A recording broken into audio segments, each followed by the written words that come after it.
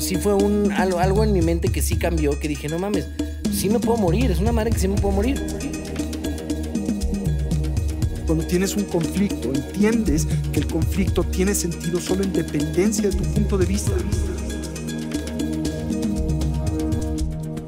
Porque yo veía que ponías a este Dios y que hablas constantemente de este Dios como que está allá afuera. Que, que estamos viviendo un México desafortunadamente yo creo que lastimado, resignado también. Es como esta máscara de, de quién eres públicamente y quién eres en realidad.